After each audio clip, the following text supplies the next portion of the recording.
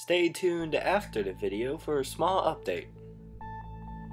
It's been a long time since I did a mod review.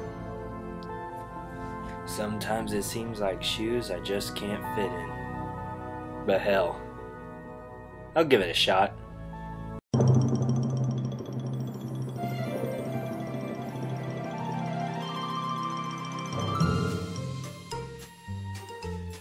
Vickland adds a new world space for you to explore in Fallout 4.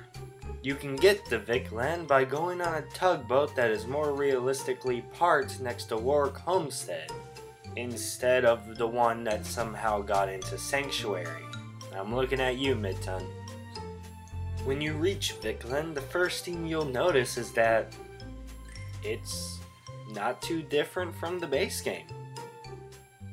Which is honestly refreshing. Like, I know I talked about other mods that are different from the base game being refreshing, but it's just, you know, Midton was all green, Treacle Lands was barren, but this one feels right at home. It feels like something that would realistically be in the Fallout universe.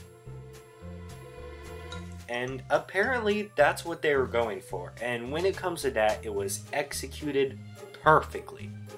But there is one thing I want to say, and that is that this mod is the definition of work in progress.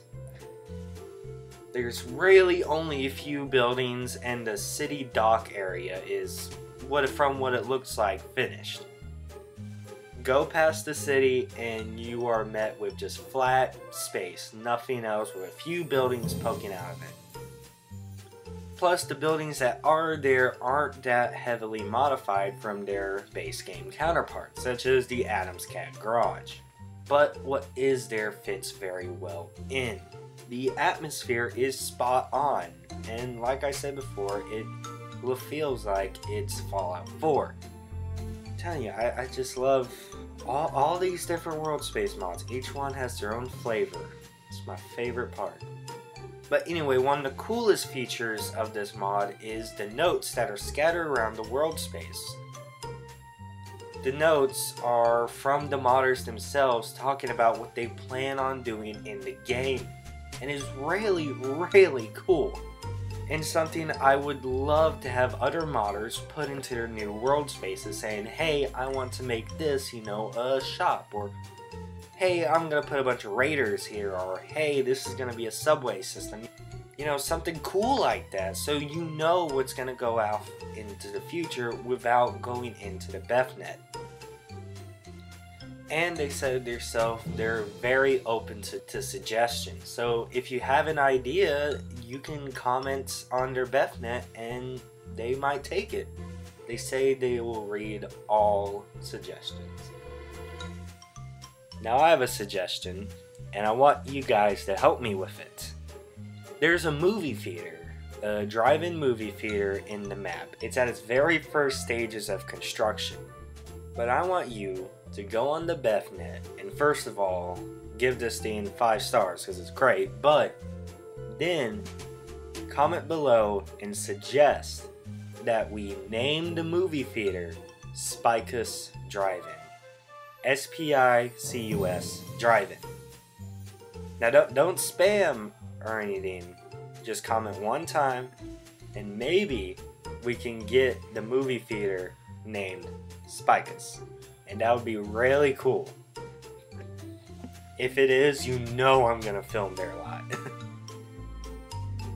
but anyway, that's Vickland. It is a very cool mod and one that I would recommend checking out. Just like my other world mods, it's not something you're gonna stay in for a long time.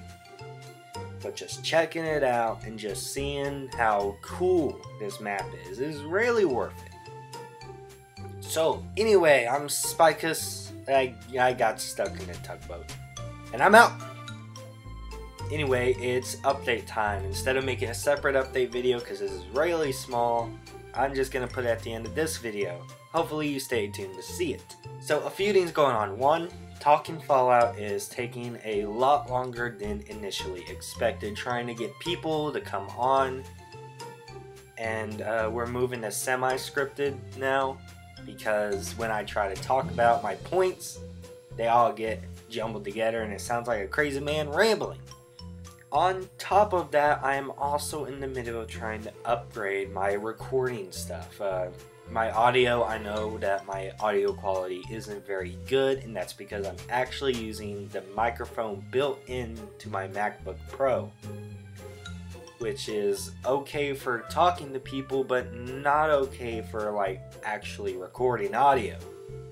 I'm also in the middle of uh, redoing a few new computers so I can use multiple ones at the same time, which will which will make editing go by faster and yada yada yada, all that. But the most important thing I wanted to talk about is my Twitter. Yes, I have a Twitter now, and this is where I'm going to kind of just use it to interact better with people who watch my stuff. The link for the Twitter will be down below. Uh, feel free to follow me, and I'll try to use that to keep people updated on what's going on. So that way I don't have to post 20,000 update videos. Yeah! Okay, so anyway, I've rambled on long enough. You know the whole situation right now. I'm spiked because I already did this bit and I'm out.